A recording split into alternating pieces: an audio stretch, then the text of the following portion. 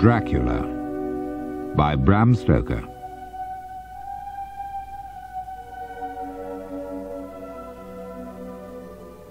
Midnight was approaching as the carriage wound its way through a wooded pass deep in the Carpathian Mountains.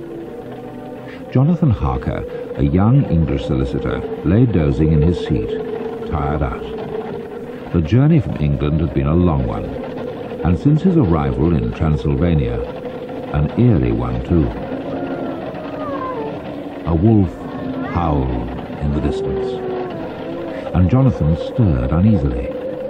He'd heard much talk of wolves, vampires and witches in this lovely but strange country.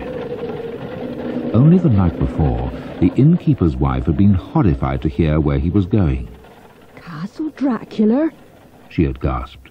Must you go? Yes, I must, Jonathan had replied. Count Dracula has bought an estate in London, and I have papers for him to sign.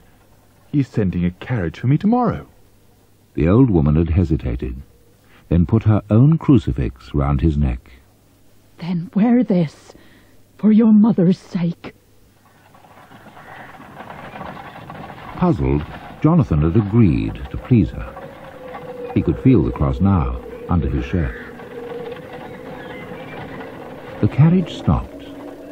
Jonathan's heart leapt in fright. Wolves were all around, teeth gleaming, tongues lolling. All at once they began to howl.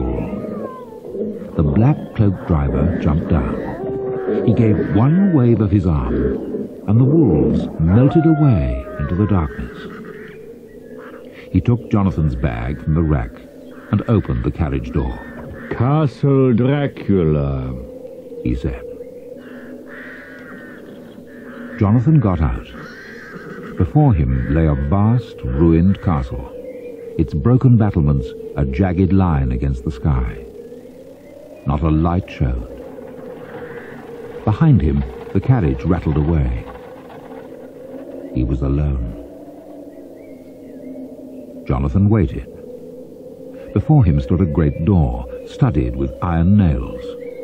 Should he knock? It seemed an age before the door grated open. A tall man stood in the doorway, dressed in black from head to foot. I am Count Dracula, he said. His English was good, but he had a strange accent. Welcome to my house, Mr. Harker. Enter of your own free will. Following the Count into a well-lit room, Jonathan found his fears vanishing. A log fire blazed in the hearth, and a table was set for supper. The Count opened another door, revealing a comfortable bedroom. This is your room, Mr. Harker. First of all, please eat. Excuse me if I do not join you. I have already dined. While Jonathan ate, the Count asked many questions about the journey. Afterwards they sat by the fire. The Count's questions continued. This time he asked about Carfax, the estate he'd purchased in London. He also signed the documents Jonathan had brought. Hours passed, and still he talked. Dawn was breaking, when at last he stood up. Sleep as long as you wish, Mr. Harker, he said. You may go anywhere in the castle, except where doors are locked. I must warn you, however, sleep only in your own room. Transylvanian ways are not English ways. Jonathan was so tired he thought nothing of this strange warning. He slept late into the next day.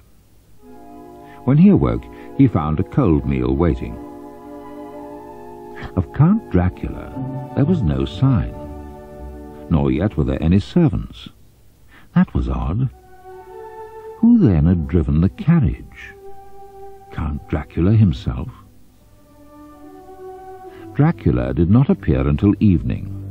When he did, the young solicitor, his business completed, asked about his journey home. You must not go yet, my friend, cried the Count. You came to settle details of my new estate, Carfax. Now I must learn about London. How I long to walk through her crowded streets. I know of her only through books. You must tell me more. The Count questioned Jonathan far into the night. Only with the coming dawn did he allow him to fall into bed, exhausted. This went on for days. In daylight the Count was nowhere to be seen, and Jonathan slept. By night the Count was with him, talking endlessly. Jonathan never saw him eat or drink. One evening the young man was shaving when Dracula came unexpectedly into the room. He was not reflected in Jonathan's mirror. Startled, Jonathan let his hand slip and cut himself. The Count's eyes blazed at the sight of the blood, and he started forward. Then he drew back as he saw the crucifix at Jonathan's throat. Take care how you cut yourself here. His voice was a snarl. It can be more dangerous than you think. He was gone. Trembling, Jonathan went to the window, seeking fresh air. The castle stood on the edge of a precipice. Looking down, Jonathan was just in time to see a figure emerging from a window lower down. It was Dracula. He was crawling down the castle wall like a great bat. What kind of man was this? thought Jonathan. He was filled with fear and foreboding. He must get away from this place, back to England and Mina, the girl he was to marry. Escape was not so easy. The great main door was locked, and though Jonathan searched, he could find no other way out. He was a prisoner. At length, as he went on searching, he found himself in a room he'd not visited before. He was worn out, and remembering the Count's warning to sleep only in his own room, he took pleasure in disobeying. Uncaring, he lay down on a silken couch. Time passed. Suddenly, he was not alone. The room was the same. His own footprints, and no others, were clearly marked on the dusty floor. Yet three lovely young women had appeared through a misty shaft of moonlight. They cast no shadows. All three had brilliant white teeth and red, ruby lips. Jonathan was filled with deadly fear. But he could not move. One of the women bent over him, and he felt her sharp teeth fasten on his throat. At that instant, another presence was in the room, Count Dracula. He was in a fury. With a fierce sweep of his arm, he threw the woman away from Jonathan, and waved the others back with the same gesture the driver had used against the wolves. How dare you touch him? Dracula hissed. This man is mine. When I am done with him, then you may have him. Are we to have nothing tonight? One of the women wailed. Dracula pointed to a bag on the floor. It moved as if something alive were inside, and Jonathan thought he heard the muffled cry of a child. The women bent over it eagerly, mouths open, teeth glistening. They were about to feed on the blood of a child. It was too much. Jonathan fainted, clean away.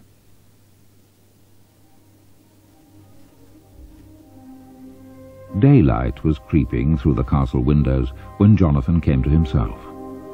He was alone once more, but fear still filled his mind. He had to escape, and there was a way if he dared take it. Dracula himself had climbed down the face of the castle wall. Jonathan made up his mind to do the same. He stepped through the window onto the ledge outside. Below lay a sheer drop over the precipice, but there were footholds in the rough stones of the castle wall. While his courage was fresh, Jonathan began the climb, trying not to look down. After an age, he came to the Count's room, too tired to go any further.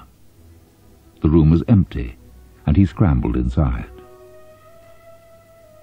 In one corner, a door led to a dark staircase. Jonathan cautiously followed it downwards, and found himself in a dimly lit crypt. The floor had been freshly dug over, and great boxes filled with earth lay around. He counted fifty in all. In one of them, Jonathan saw something which filled him with horror. The Count was lying there. He was not breathing and had no heartbeat. Yet his face was gorged with blood, his lips were stained with it, and drops ran down his chin. Like the three terrible women, this creature fed on human blood. And he was going to London with all its millions of innocent people. He had to be stopped. Snatching up a shovel, Jonathan struck out at the hateful face. As he did so, the head turned towards him, dead eyes blazing with hate.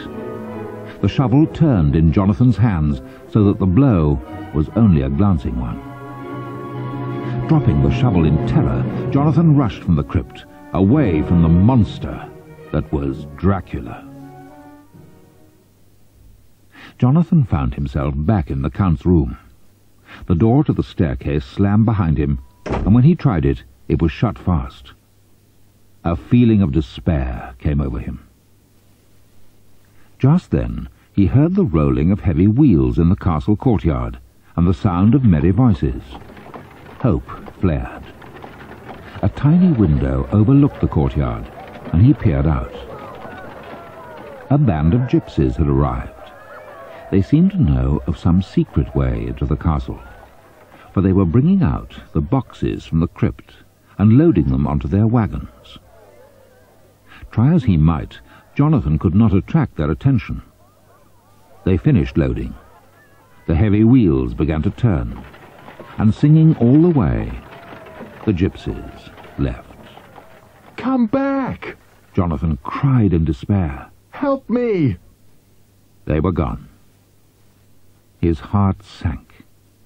He knew that Dracula lay hidden in one of those boxes.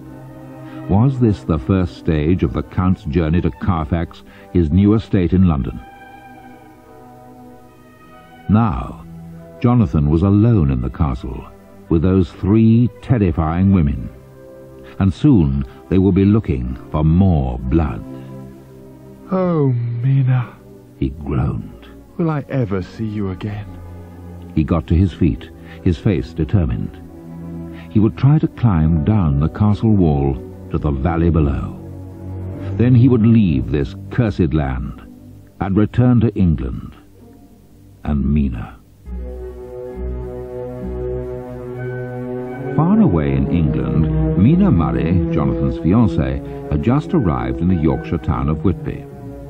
She was to spend a holiday with her friend Lucy Westenra, who had a holiday house there. Lucy, a lovely young woman of twenty, could hardly wait to tell Mina her news. She had received three proposals of marriage in one day. All three men were close friends.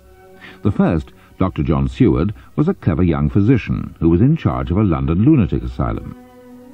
The second was an American from Texas, Quincy P. Morris. The third was the Honourable Arthur Holmwood, son of Lord Godalming, and she had accepted him. We are to be married in the autumn. she told Mina, her cheeks pink with pleasure.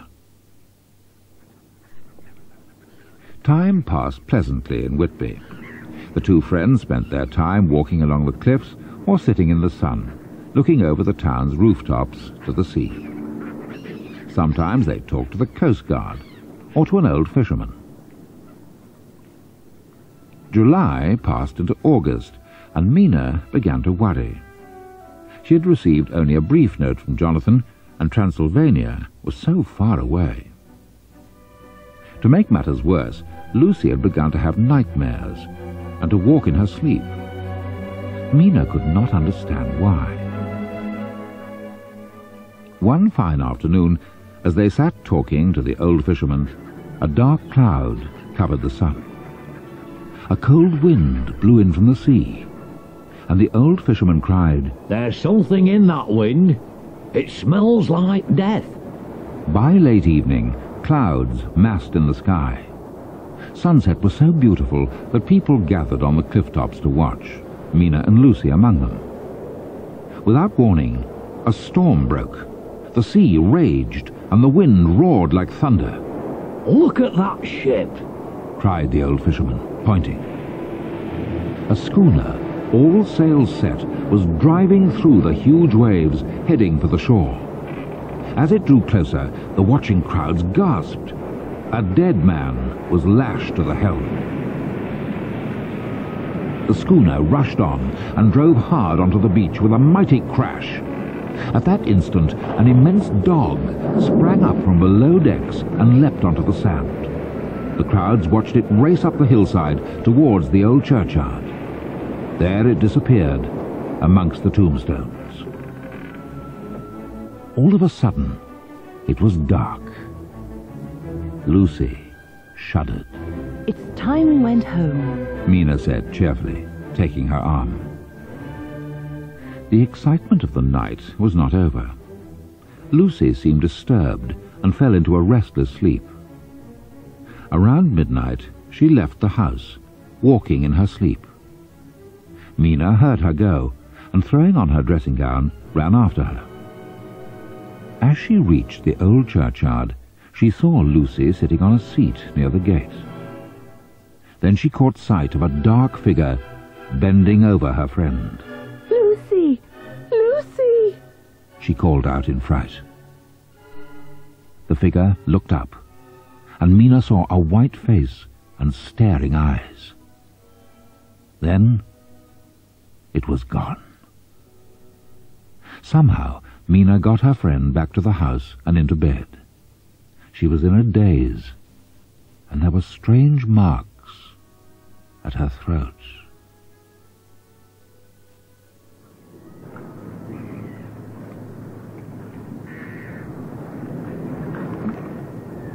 The following day dawned clear and fine, and Lucy seemed quite herself again. In the morning they strolled down to the beach, where the stricken schooner still lay. Men were unloading great boxes from her hold, watched by the Coast Guard. Good morning, ladies. He greeted them. Was anyone saved from the ship? Mina asked. There was no one aboard but the captain. He replied, shaking his head. He was dead. The vessel came from the Balkan port of Varna, loaded with these boxes. They are addressed to a house in London, so we're sending them on. He shook his head again. It's a strange affair. Mina soon forgot about the wrecked schooner. A letter arrived that morning from Budapest. Jonathan was safe, but in hospital there. He was ill with a brain fever, following some frightening experience in Transylvania. Mr. Harker has had some fearful shock, the letter explained. He's recovering well and asking for you, I must go to him. Mina cried. Will you be all right, Lucy? Of course you must go. Lucy said. It's time I returned to London in any case. Arthur will be expecting me. Some time after Lucy's return to London, Arthur Holmwood called on his friend Dr. Seward. A specialist in mental illnesses, John Seward had a house attached to an asylum. The friends often met there. I'm puzzled about Renfield, one of my patients. John Seward told the other man as they sat talking. I thought he was cured, but now he is acting so oddly. In what way? Last night he broke out of here and was found trying to get into Carfax, the house next door. It's a big place with an old chapel attached, but it's empty. When we got him back to his room, he kept telling us, The master is at hand.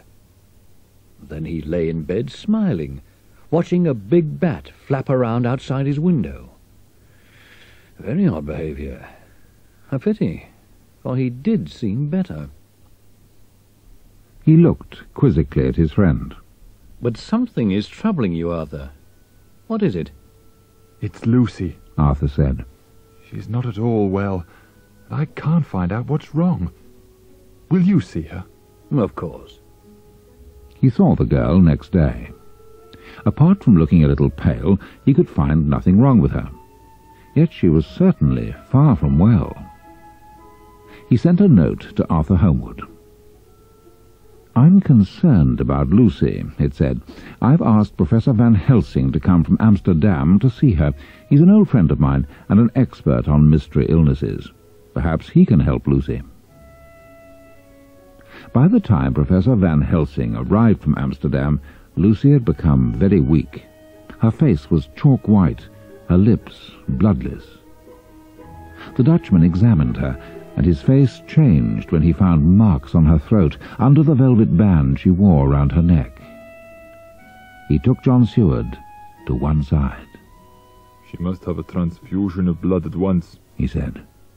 What's wrong with her? Seward asked. I think I know, but I hope I'm wrong. The Dutchman replied. I must look through my books and think. First the transfusion. After that, keep garlic flowers in her room. Garlic flowers? The young doctor looked amazed. But why? Trust me, Van Helsing said. Do as I say, please. Mystified, John Seward agreed. Lucy seemed better after the transfusion of blood, but as the days passed, she needed even more. Hearing of her illness, Quincy Morris came to offer his help. He was shocked to see the change in Lucy. She talked of bad dreams and of a great bat at her window. The friends could only watch as she slipped away from them. At length, Lucy closed her eyes, and her breathing stopped. Arthur Holmwood was heartbroken. She is at peace at last. John Seward said quietly. It is the end. No, my friend. Van Helsing turned to him. I fear this may only be the beginning. Lucy's funeral was over before Jonathan Harker and Mina Murray returned from Budapest. They'd been married there as soon as Jonathan had been well enough. The couple was saddened to hear of their friend's death. Mina kept a close eye on Jonathan.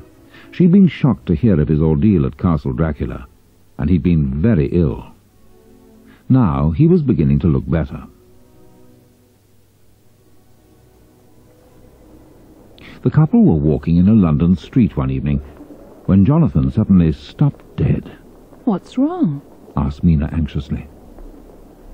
Jonathan was staring across the street at a tall man with black hair. It's the Count, he exclaimed. He's already here, in London. Jonathan was trembling. Worried, Mina hailed a hansom cab and took him to Dr. Seward's house. Fortunately, he was at home, and Professor Van Helsing was with him. The two medical men listened in silence while Mina told them the whole story. They exchanged glances. Imagine it all? Jonathan asked in a low voice. No, my friend, you did not, said Van Helsing firmly. And your experiences would seem to have a link with Lucy's death. You say this evil being is now in London. I must hunt him out. I'm with you, Jonathan exclaimed. Next morning, a London paper carried a frightening story of children being taken away by a beautiful lady. They were found afterwards with puncture marks on their throats. Van Helsing showed the paper to Dr. Seward. What do you make of this? he asked. Something attacked these children. John Seward exclaimed. That something must also have attacked Lucy. No, my friend. Van Helsing shook his head. How can I make you understand how Lucy died? Listen. There are many strange things in this world. In some places there are giant bats, which take the blood of cattle and horses. Sometimes they even suck the blood of sailors sleeping on the decks of their ships. In the morning, the sailors are dead men, white as Lucy was. John Seward stared at the Dutchman. Are you telling me Lucy was bitten by a bat? And that such a thing is here in London? I fear it is worse than that. Van Helsing groaned. I suspect that Lucy herself made the holes in the children's throats. Are you mad? Lucy is dead. You do not believe me. Van Helsing shook his head sadly. Tonight, after dark, we must go to the churchyard where Lucy is buried. Then you will see.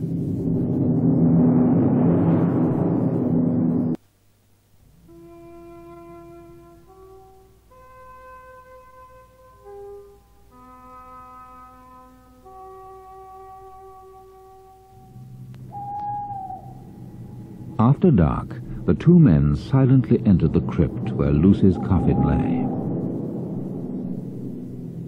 Carefully, Van Helsing opened it. Dr. Seward gave a startled gasp. It was empty. Van Helsing led him outside, gesturing to him to be silent. They waited behind a tree. As they watched, a figure flitted back into the crypt. It was Lucy. Van Helsing took his companion by the arm and led him back into the crypt. Again, he opened the coffin. This time, Lucy lay there, even more beautiful than she had been in life. Van Helsing explained quietly. Lucy was bitten by a vampire while she was in a trance, sleepwalking. The vampire returned again and again for blood, and Lucy died. She is not really dead, undead. She has become like the vampire herself, and needs human blood. Her soul will not rest until a stake is driven through her heart. John Seward shuddered.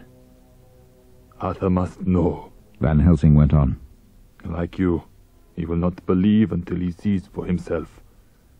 We will come back tomorrow night.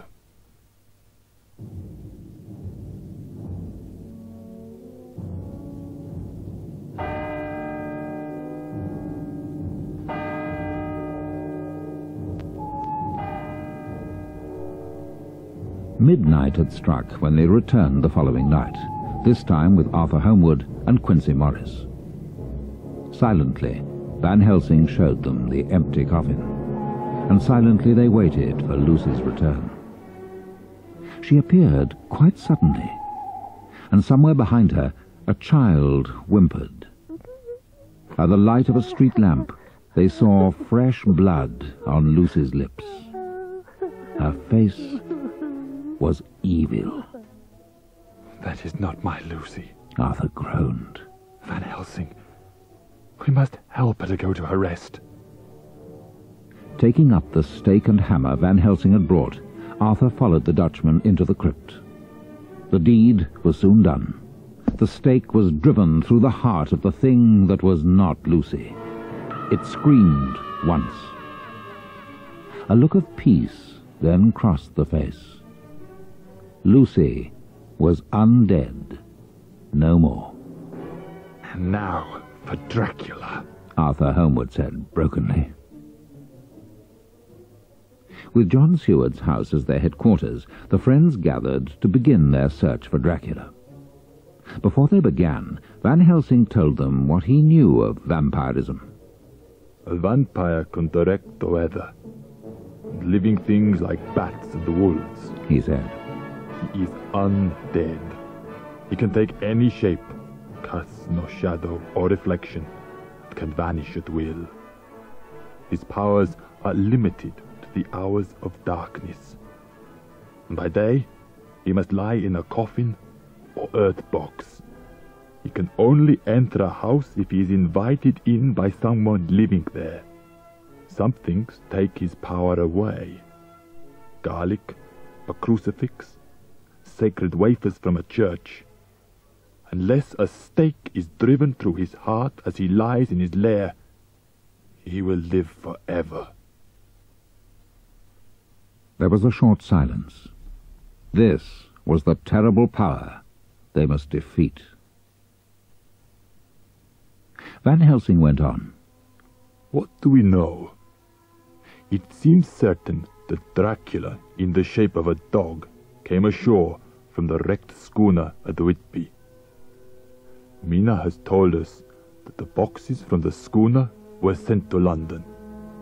My inquiries have shown that they were delivered to Carfax, the house next door to this, which the Count bought. Dracula needs somewhere to rest during daylight. Each box is a place of safety for him. This has all been a shock to me. said Seward grimly. Yet I had enough clues from the behavior of my patient Renfield. Some of the boxes were taken away by carriers yesterday. Van Helsing continued. Renfield was much affected, screaming that they were stealing his master. We must now find the boxes, still next door at Carfax. If we sterilize them with sacred wafers, Dracula can never rest in them again. Then we must find the others and do the same. First of all, Carfax. Mina got up to go with them, but Jonathan put his hand on her arm. Stay here, Mina. He said quietly. You will be safe. Led by Van Helsing, the men left Seward's house. Before they went into Carfax, the Dutchman gave each man a crucifix and a garland of garlic flowers. Keep these near your hearts. He instructed them. Quietly, by lamplight, they entered the dark house through a broken door. The whole place was thick with dust and seemed deserted. Yet they all sensed an evil presence. They found the boxes in the old chapel adjoining the house. The air there was foul. Twenty-nine boxes, said Quincy Morris. Suddenly, the floor at his feet was alive with rats. They came from nowhere and multiplied until there were thousands of them. Quick to act, Arthur Holmwood gave a loud whistle. It was answered by the sharp barking of dogs, and his three terriers ran in. They rushed at the rats, their natural enemies. As they did so, the rats vanished. With their going, the evil presence seemed to go too. Relieved, the men got on with the task of sterilizing the boxes. From her bedroom in John Seward's house, Mina heard the dogs bark. All was dark outside. Mist began to whirl outside the window, and two red eyes seemed to peer in at her. Mina fell back, remembering Jonathan's three women. Her last conscious memory was of a white face and two staring eyes. Next morning, Mina was tired and pale, but her experience in the night seemed like a bad dream. She said nothing about it. The friends continued their inquiries. The Carters gave them the addresses in London where the boxes had been taken. Soon, all but nine boxes had been dealt with. Only one address was left, a house in Piccadilly. Renfield was still causing Seward concern.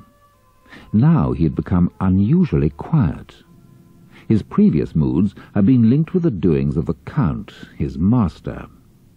Seward wondered if he had become aware in some way of the coming destruction of the Count. Mina had gone to bed, and the men discussed their plans for their visit to the house in Piccadilly. We're on the last track now. said Arthur Holmwood. Suddenly, Renfield screamed. The friends rushed to his room and found him lying in a pool of blood. Just before he died, he whispered, I let him in. He wanted to come in uh, and I let him. He's gone to take blood from Mrs. Harker. When I saw what he was going to do, I tried to stop him, but his, his strength was too great. Now they knew where Dracula was. Rushing upstairs, the men burst into Mina's room. Dracula was bent over her, and there was blood on her clothes. The men advanced on the evil thing, Van Helsing holding out a crucifix, driving him back, away from Mina. Abruptly he vanished, leaving Mina weeping. He will have to get to the house in Piccadilly before dawn, exclaimed Van Helsing. because he can only rest in one of his boxes, and that is where they are.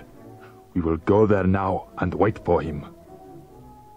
As soon as they entered the Piccadilly house, the friends knew Dracula had been there. The place smelt just like the old chapel at Carfax. In the dining room, they found eight boxes and quickly sterilized them with sacred wafers. There was just one box left, and they could find no trace of it. Where can it be? cried Jonathan. Van Helsing shook his head. As they stood there, the front door opened, and slow, careful footsteps came along the hall. It was Count Dracula. He faced them, his face twisted into a snarl so that they could see his long, pointed teeth. You think you have left me without a place to rest. But I have another. You shall all be sorry. My revenge is just begun. With that, he was gone. What do we do now? demanded Quincy Morris in despair. He could be anywhere. Disheartened, the friends returned to Seward's house. Mina was waiting for them, looking pale and anxious. She became paler as they told her what had happened, and turned to Van Helsing. Professor, Dracula put me in a trance when he came to my room. She said, If you also put me in a trance, perhaps my mind can sense where he is. Van Helsing looked at Jonathan, who nodded agreement. It was worth trying. Settling Mina in an armchair, the Dutchman began to hypnotize her. Gradually, her eyes closed, and she began to speak. He is in a dark room. Water is lapping outside. It is a ship, and it is leaving port. Her voice faded away, and her breathing deepened. She is asleep. Said Van Helsing. That ship will be leaving from your great port of London. But how many others will also be leaving? Lloyds will help us. Arthur Holmwood told him. They will be able to tell us which ships are sailing and where they're going. It was well into the day before they had the answer. From Lloyd's list, only one ship seemed to be heading in the right direction, the Tsarina Catherine, which was bound for Varna on the Black Sea. By the time they had reached the docks, however, she had sailed. A tall, mysterious man had been seen going aboard, and a huge wooden box had been loaded into the hold. Dracula had his earth box, and was escaping back to Transylvania. We still have a chance. Van Helsing pointed out. The journey by sea will take weeks. Traveling overland, we can be there in days. Yeah, agreed Quincy Morris. We'll take the Orient Express and be there, waiting for him. At once, they began preparations for their departure. While Mina was busy packing, Van Helsing took John Seward to one side. John, we must catch Dracula soon. He said, Say nothing to Jonathan, but Mina is changing. I can see the vampire signs beginning to show in her face. The journey to Varna was uneventful. Once there, they took rooms in a hotel and waited for news of the Tsarina Catherine. We will board the ship between sunrise and sunset. Van Helsing told them all. He cannot leave in daylight. We can make sure of him, as we did of poor Lucy, while he lies in his lair. Soon afterwards, a message came from the docks. Dracula had outwitted them. The Tsarina Catherine had not called at Varna, but sailed on to Galatz, further to the north. The friends did not give up, but took the first train to Galatz. There they heard that a huge box had been unloaded from the ship and was on its way upriver in an open boat. Van Helsing gave a cry of triumph. We will catch him yet. He cannot cross water by himself. As long as the box is on a running stream, he cannot leave it. Quickly they made arrangements to follow. Arthur Holmwood and Jonathan Harker would follow the boat upriver in a hired steam launch. Dr. Seward and Quincey Morris would go by horseback along the riverbank. Mina would be in Van Helsing's care. They would hire a carriage and drive to Castle Dracula through the Borgo Pass. They lost no time in leaving Galatz. Within the hour, they were all on their way.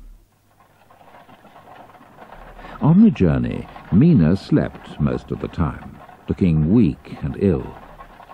As they neared Castle Dracula, she became restless and troubled. He is near. I know he is near, she murmured.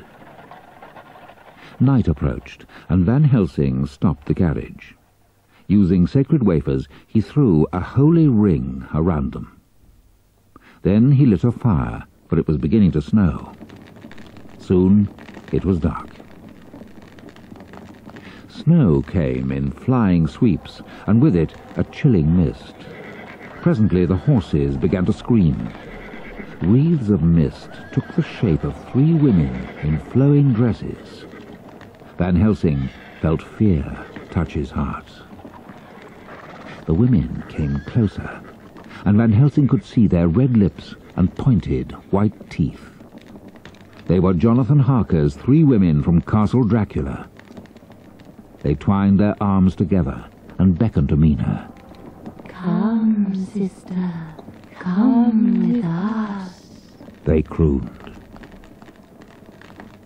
Van Helsing watched Mina. Would she go to them? The terror in her eyes, the horror in her face, told him that she was not yet as they were. He fed the fire to keep them warm. He and Mina were safe within the holy ring. The women could not enter it. They remained like that until dawn came. Van Helsing watched the three women melt into the whirling mist and snow. The sun came up, and they were gone.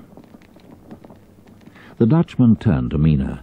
To his relief, she'd fallen into a peaceful sleep. Leaving her wrapped in blankets, safe within the holy ring, Van Helsing took the carriage. He drove like the wind to Castle Dracula. With a heavy hammer he brought with him, he broke into the castle and found his way to the ruined chapel. There the three women lay in three stone tombs, beautiful, undead. There was one more tomb, more lordly than the rest, huge and nobly proportioned. On it was but one word, Dracula. This, then, was the undead home of the king vampire. Van Helsing laid some sacred wafers inside the tomb, so banishing Dracula from it forever. His next terrible task was to deal with the three women by driving a stake through each heart. When this was done, Van Helsing saw peace cross each woman's face, before her body turned to dust. On the way out of the castle, he sealed all the entrances with sacred wafers. The Count could no longer enter. With one backward look at Castle Dracula, Van Helsing drove back to Mina. She was still asleep within the holy ring, but woke up as he threw more wood on the fire. Jonathan is coming, She cried. but so is Dracula. Van Helsing put his arm round her. Don't be afraid. He said gently. We are in the hands of God. The day passed slowly. The light began to fade, and a wolf howled far away. Then they saw movement. Van Helsing snatched up his field glasses. A band of gypsies was racing towards them, and on one of their carts lay a huge box. Dracula was coming, They are racing for the sunset. groaned Van Helsing. Look! Mina exclaimed. Horsemen! Van Helsing stared through the field glasses for a moment, then shouted in glee. Quincy and John are coming, and Arthur and Jonathan are close behind. Every instant seemed an age as they waited. The wind came in bitter, snow-laden gusts. Closer and closer drew the gypsies. Now they were barely a hundred yards away. The sun dropped behind Castle Dracula, outlining it against the sky. The four horsemen had all overtaken the gypsies. Halt! Jonathan shouted in a passion. Instinctively, the gypsies reined in, although they probably didn't understand the word. Jonathan and Quincy threw themselves through the ring of gypsies, fighting off their flashing knives. With a strength which seemed incredible, they raised the great box and hurled it to the ground. It broke open. Arthur Holmwood and John Seward had pulled out rifles. Seeing the weapons, the gypsies fell back. Count Dracula lay in his earth box, red eyes gleaming in triumph. The sun was almost down. Now he could escape and take any form. In that instant, Quincy Morris plunged his knife deep into the Count's heart. It was like a miracle. A fleeting look of peace passed over Dracula's face, then the body crumbled into dust and vanished. Castle Dracula stood out against the sky, every stone of its broken battlements etched against the light of the setting sun. Quincy gave a groan and sank to the ground. A gypsy knife had found its mark.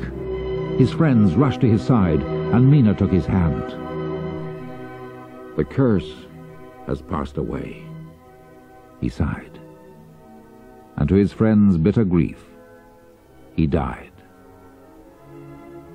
His death was not in vain. The vampire signs were gone from Mina's face. She was safe. Count Dracula was gone forever.